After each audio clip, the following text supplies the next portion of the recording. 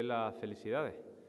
Es cierto que muchos de ustedes llevan años y años y más años esperando por este día, esperando por ese sorteo, esperando por cualquier fórmula para poder tener una vivienda digna donde poder vivir.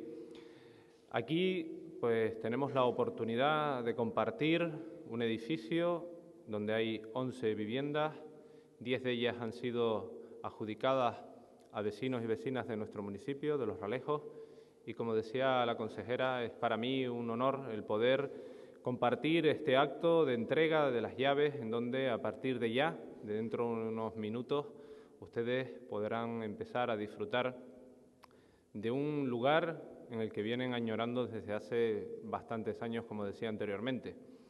Pero en este ámbito hemos visto cómo hemos entregado viviendas a distintos sectores de la sociedad, jóvenes, sector de la discapacidad, mayores, etcétera, en definitiva, a una amplia gama de nuestro municipio. Y como decía también la señora consejera, hemos conseguido, hemos conseguido, eh, y veo, algunas, algunas lágrimas y la verdad que me, me emociona, eh, me emociona ese, ese sentir porque, hombre, uno que ve el toro de la barrera, a lo mejor esa empatía, eh, oye, confieso que me acabas de emocionar.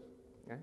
Confieso que me acabas de emocionar porque cuando uno hace este trabajo y cuando uno está aquí al frente de una administración, de igual forma que están ellos, pues lo que pretende es poder satisfacer la necesidad de nuestros vecinos. Y créanmelo, créanmelo que indistintamente del color político, indistintamente de la formación política, indistintamente de la administración en la que estemos, siempre, lo haremos mejor o peor, pero siempre hemos intentado poner nuestro grano de arena no solo para hacerles felices, sino para conseguir satisfacer esa necesidad de ustedes.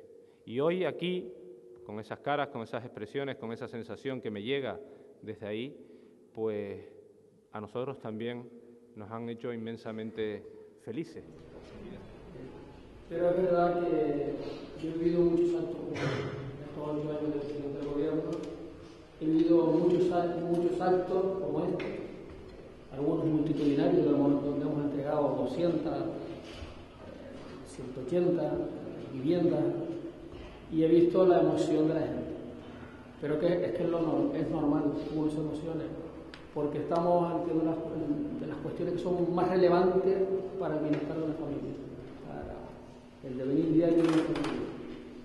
Nosotros afortunadamente vivimos en un lugar, en el ámbito del Estado español, en el ámbito de Canarias, donde tenemos dos de los servicios esenciales afortunadamente cubiertos, que es la sanidad.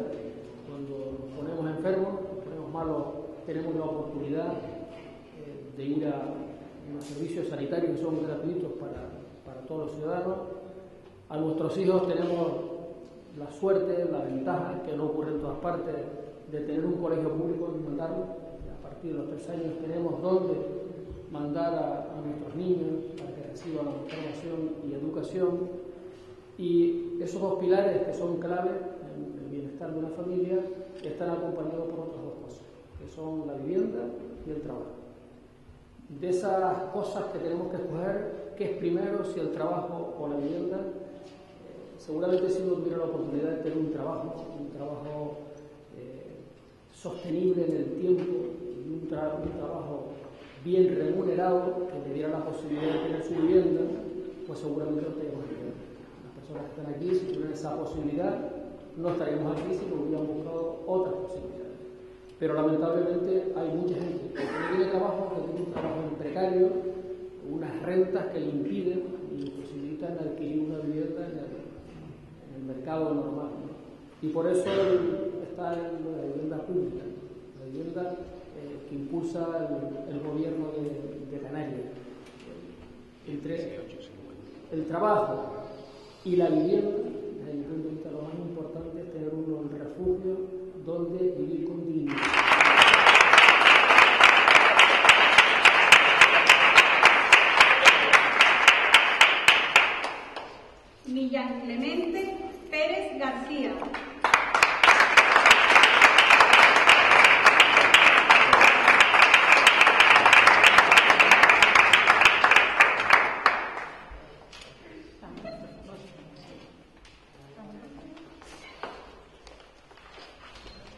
Pilar Milagro Trujillo Dios.